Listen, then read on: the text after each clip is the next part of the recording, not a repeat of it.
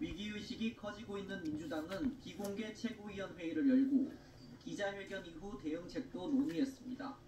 여러 가지 많은 뭐 토론들이 있었습니다. 송영길 대표 기자회견을 좀 지켜보고 거기에 맞게 어, 대응을 하자라고 하는 걸로 추격할 수 있습니다. 민주당 안팎에서 송 전 대표의 책임론이 강하게 제기되고 있는 만큼 송전 대표가 조기 귀국해도 파장은 쉽게 가라앉지 않을 것으로 보입니다. KBS 뉴스 이현준입니다. 네, 중학생들이 인터넷 메신저 텔레그램으로 구한 필로폰을 나눠 투약하다가 경찰에 적발됐습니다. 서울 동대문 경찰서는 마약류 관리법 위반 혐의로 중학교 3학년 A양과 B군, 2학년 C군 등 3명을 입건해 조사하고 있다고 밝혔습니다. 경찰은 세 학생이 온라인 사이트를 통해 마약 구입처를 확인한 뒤 필로폰 0.05g을 함께 투약한 사실을 확인했다고 밝혔습니다. 네, 석 달간의 계도 기간을 가졌던 우회전 일시정지 의무 위반에 대해서 오늘부터 본격적인 단속이 이루어집니다. 전방 신호가 빨간불일 때는 우회전할 때 반드시 멈춰야 하고 우회전 신호등이 있는 곳에서는 반드시 신호를 지켜야 합니다. 운전자 누구에게나 생소한 새로운 기준인데 어떤 부분을 조심해야 할지 최현진 기자가 자세히 정리해드리겠습니다.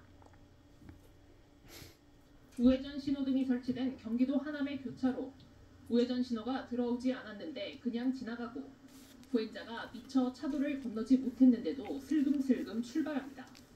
앞선 차가 신호를 어기면 뒤따르는 차들도 줄줄이 따라갑니다.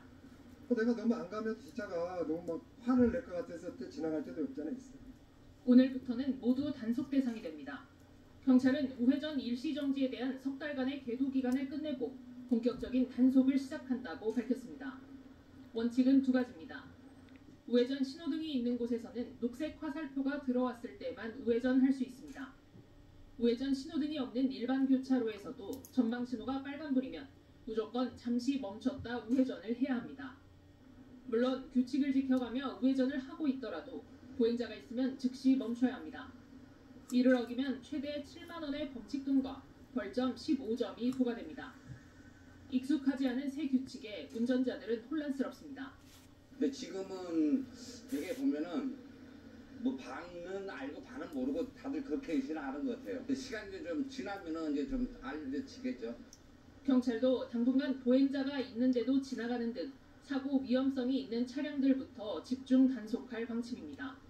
운전자들이 공감할 수 있도록 직접적인 위험을 발생시키는 유형부터 단속을 강화하도록 하겠습니다.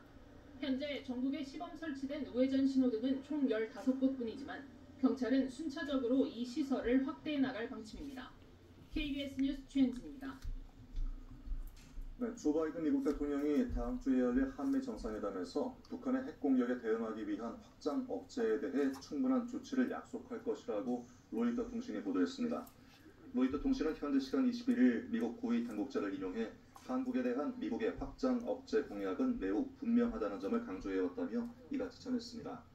이 당국자는 또 이번 한미 정상회담에서 북한 인권 문제에 대한 논의도 이루어질 것으로 보인다고 말했습니다. 오늘은 호흡기 관리에 유의하셔야겠습니다. 현재 충청과 전남, 강원과 영남, 제주 지역에 황사 위기경보가 주의 단계로 격상됐는데요. 지금 충청과 남부지방의 미세먼지 농도는 100